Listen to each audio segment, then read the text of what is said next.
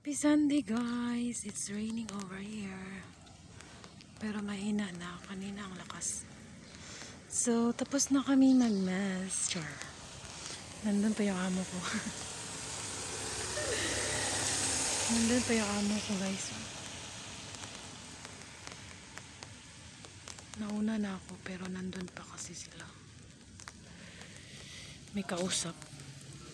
Tsaka nagbe-bless, nagsusunog ng palaspas for next week. Ash Wednesday na kasi. So, dito lang ako. Tatago. nice na red car. Tapos nandiyan pala yung driver. Gahak. Nakita ako ni Kuya nag-video. Wala siya dyan. Ganda ng gumamela doon.